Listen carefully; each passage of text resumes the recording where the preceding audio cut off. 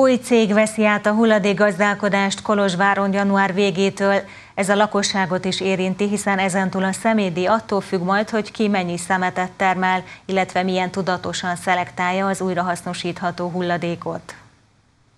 Hulladékgazdálkodási céget vált a Kolozsvári önkormányzat, a Supercom köztisztasági vállalat veszi át a feladatot január végétől.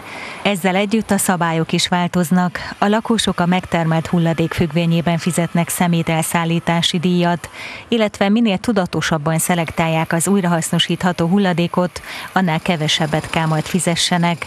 Ola Emese a polgármester szerint egyszerű az elszámolás módszertana.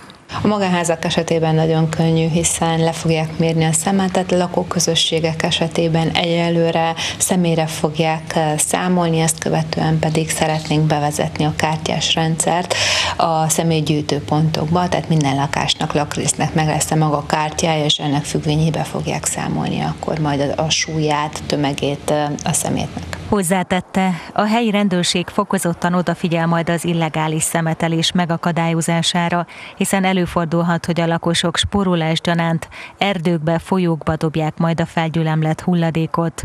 A kolozsvári lakástulajdonosok január 26-áig köthetik meg a szerződést az új köztisztasági cég székhelyén vagy a Supercom online platformján. A díszabás változik a hulladék típusa függvényében.